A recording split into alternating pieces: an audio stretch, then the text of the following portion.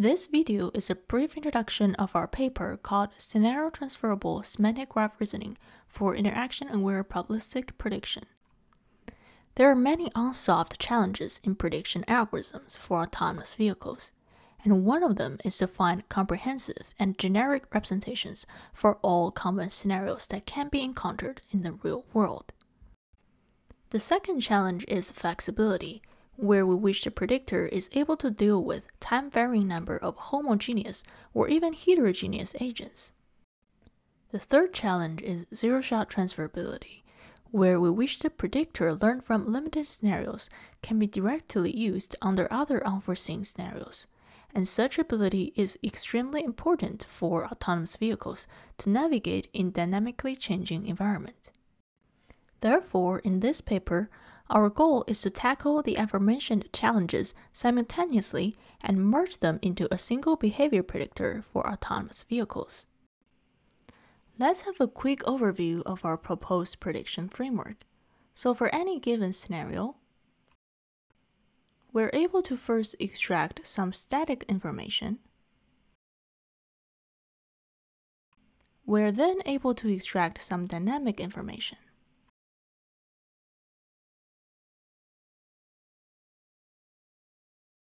After that, we utilized the proposed semantic graphs to construct structural and spatial temporal relations within these representations.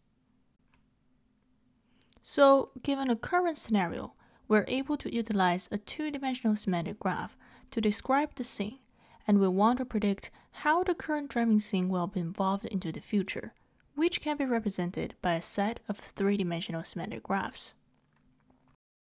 To do that, a semantic graph network is proposed. And it has the structure like this. In general, this is the overall framework. So now let's dig into more details for each module. We first look at a static representation. In order to extract generic representation of static environment, we first introduce the concept of reference path which usually can be obtained from row centerline, and the reference paths are typically defined by polynomial curves. Upon each reference path, we further introduce the concept of reference point, which can be either used to represent different topological elements, including undecided overlap, line overlap, and point overlap, or these reference points can be used to represent regulatory elements such as traffic lights and traffic signs. For generalization purpose, we utilize the Frenet frame instead of Cartesian coordinate to represent the environment. Now let's see how we extract generic representation of the dynamic environment. In fact, the dynamic environment representation is based on the concept of dynamic insertion area or DIA that we proposed. It is defined as dynamically moving area that can be inserted or entered by agents on the road.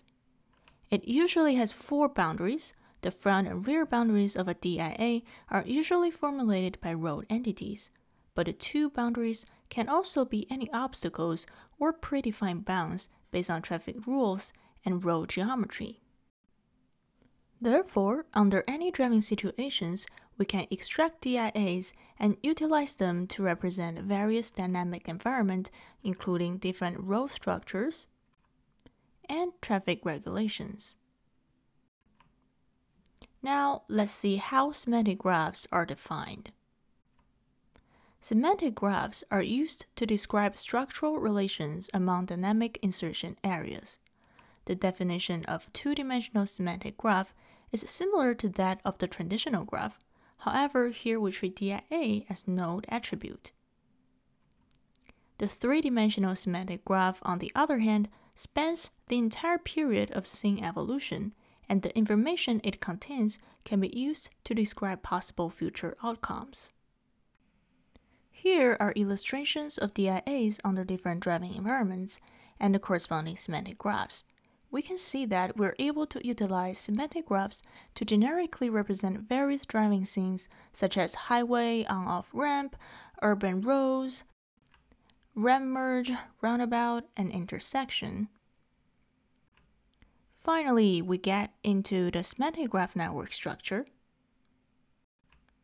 And here is the overall network structure. And basically, given a two-dimensional semantic graph, the network will output a set of three-dimensional semantic graphs, which contain the information of which DIA the predicted vehicle will insert into and the corresponding goal state.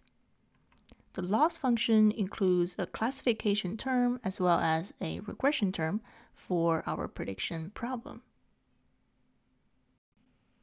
To examine the proposed algorithm, we conducted experiments on real-world driving data under two scenarios.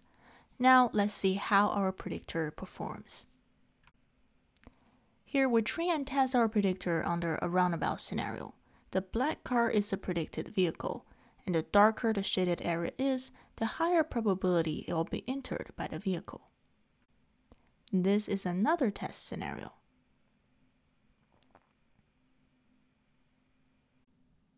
This is the regression part of the prediction results for the previous testing case. We also quantitatively evaluated the predictor's prediction performance and compared it with different methods. However, in fact, we're more interested in the zero-shot transferability of our predictor.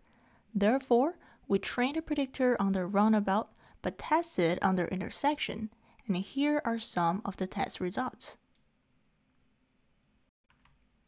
This is another test scenario where the predicted black vehicle first encountered a stop sign and then negotiates the road with the yellow vehicle.